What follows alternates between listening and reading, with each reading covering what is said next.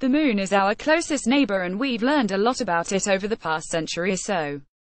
We've studied it, mapped it, and even visited it on more than one occasion, but that doesn't mean it doesn't have a few surprises in store for us. A new research effort has uncovered one of those mysteries in the form of large holes in the lunar surface near the moon's north pole, and scientists believe they might hint at a huge subsurface tunnel network. The bizarre holes were spotted by researchers working with the SETI Institute and Mars Institute, both of which used imagery from NASA's Lunar Reconnaissance Orbiter to identify the gaps in the moon's dusty surface.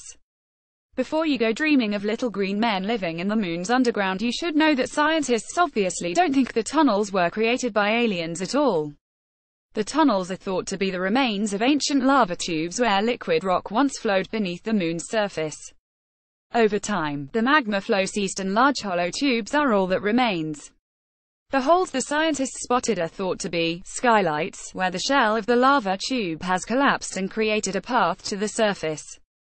It's unclear at this point how large the tunnels actually are, or how far they stretch, but NASA is already considering other known tube locations for their potential usefulness in future manned missions to the Moon. The highest resolution images available for Philolaus crater do not allow the pits to be identified as lava tube skylights with 100% certainty, but we are looking at good candidates considering simultaneously their size, shape, lighting conditions and geologic setting. Pascal Lee, a scientist with SETI and the Mars Institute who is investigating the new features, explains. In the not-so-distant future, astronauts may be able to use lunar lava tubes as makeshift shelters to protect themselves and their equipment from space radiation.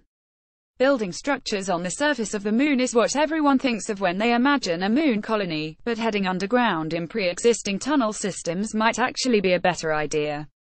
Tags Moon, NASA, Nature, Space